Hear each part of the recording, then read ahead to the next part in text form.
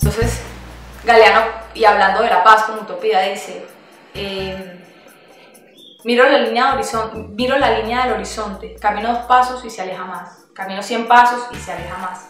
Así es la utopía. ¿Y para qué sirve la utopía? Para caminar, aunque sea para caminar. Y yo creo que el hecho de que empecemos a enrutarnos hacia ese horizonte de paz, ya estamos comenzando eh, ese proceso que parece tan difícil y tan lejano. Yo creo que ya estamos avanzando hacia él.